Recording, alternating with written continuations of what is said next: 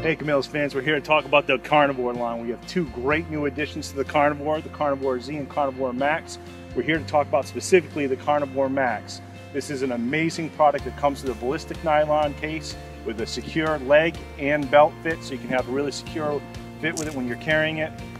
It has an oversized non-slip grip so you can handle in, uh, in sweaty situations and so forth. It will grip really well. It has a 18 inch blade, 23 inches overall. It's a full Tang 440 titanium bonded steel, goes all the way through the handle. It features a sawing function, a chopping, a chisel, a digging, and a wire cutter and gut hook in a pinch.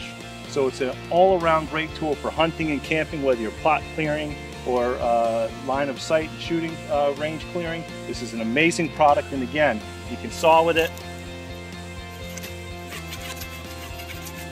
You can chop with it. And you can also do a great job of digging uh, for plots and so forth for staking. So again, the Camillus Carnivore Maxx, it's a huge product, it's a great power, and we're very proud of it. Camillus Carnivore Maxx.